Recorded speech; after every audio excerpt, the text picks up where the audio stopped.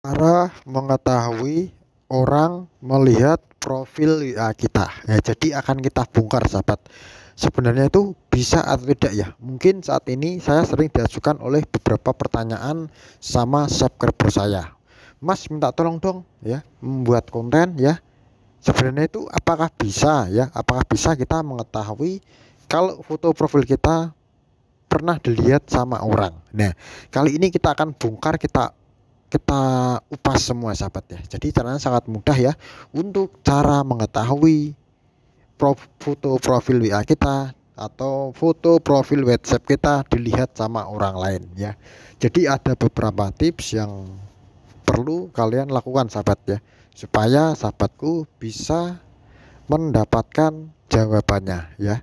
Langsung saja untuk sahabatku caranya sangat mudah sekali ya jadi ada beberapa tahap yang akan perlu kalian lakukan. Pastinya sahabatku kalau melihat konten konten yang lain di channel lain ya, pasti seperti ini kan. Sahabatku suruh mendownload yang namanya ini. Ya, kurang lebih seperti ini ya.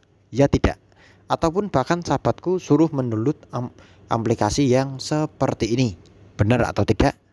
Nah, jadi saya sarankan untuk sahabatku tidak usah membuang-buang waktu ya. Karena kalian mendownload aplikasi ini itu ini itu dan nyatanya tidak berhasil ya. Jadi akan saya bongkar di sini untuk cara mengetahui siapa yang melihat profil WA kita yang sebenarnya ya. Jadi percuma kalian ya mendownload ini semua tetapi tidak fungsi ya. Tidak ada fungsinya ya. Ya, contoh seperti ini kalau kalian tidak percaya ya. Kita buka lagi Play Store.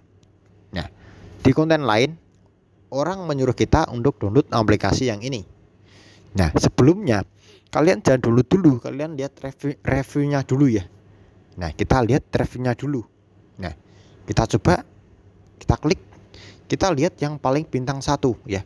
Aplikasi yang sangat tidak berguna yang gue install ya. Terus belum apa-apa sudah disuruh beli koin ya. Bisa dilihat kan? Jelek semua kan? Ya. Nah terus ini lagi sahabat. Nah misalnya suruh ini ya sudah ada satu juta yang download. Kita cek saja komennya kita cek saja.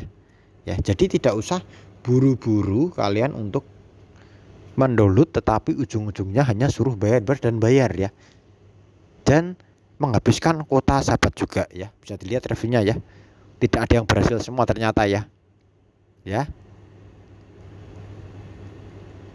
Nah jadi intinya akan saya kasih jawabannya sebenarnya itu tidak bisa ya.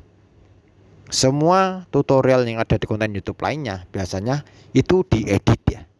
Diedit sendiri ya. Seakan-akan seakan-akan itu dia bisa mengetahui profil mereka itu dilihat sama orang lain ya. Nyatanya tidak bisa sahabatku ya. Itu hanya editan semata. Jadi kalian jangan pernah mencari lagi tutorial seperti ini karena pihak WhatsApp saja belum mengupdate aplikasinya dengan cara seperti itu ya. Jadi gitu saja untuk sahabatku. Cukup sekian dan terima kasih